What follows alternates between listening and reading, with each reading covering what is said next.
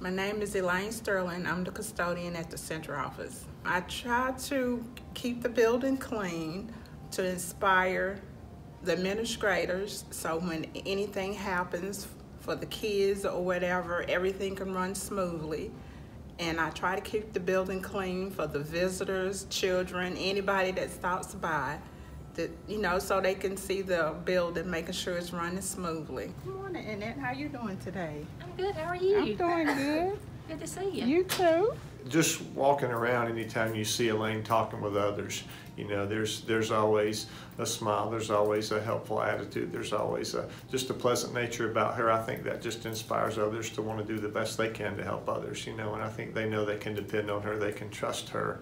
Uh, to, to just be positive and to do what she can to help. I think Elaine is always looking for things that that can be done uh, to, to enhance the look of our building here for for the folks that work here, for people who would come and visit. You know, the front entrance, uh, just around where people park. Uh, if she sees something that would make a positive impact, she mentions that. She puts in work orders.